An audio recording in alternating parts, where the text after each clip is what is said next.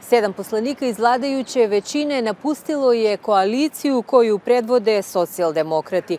Reč je o poslanicima Alternative i Demokratskog saveza kao i troje poslanika vladajućeg albanskog duje iz takozvane frakcije vatrenih. Međutim, ulaskom novog partnera Alijanse Albanaca sa osam poslanika, vladajući SDSM i Duji čini se da su spasili vladu i izbegli prevremene parlamentarne izbore.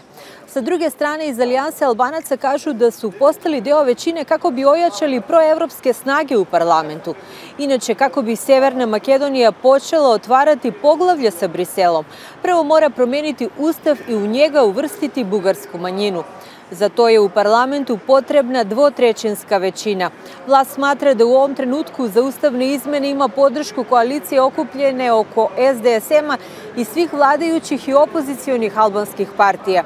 To je ukupno 73 poslanika, ali da bi promenili ustav potrebno im je bar još sedam glasova iz VMRO DPMNE-a. Ukoliko bi izmene Ustava bile usvojene, zemlja bi dobila priliku za otvaranje poglavlja i perspektivu za članstvo u Evropskoj uniji.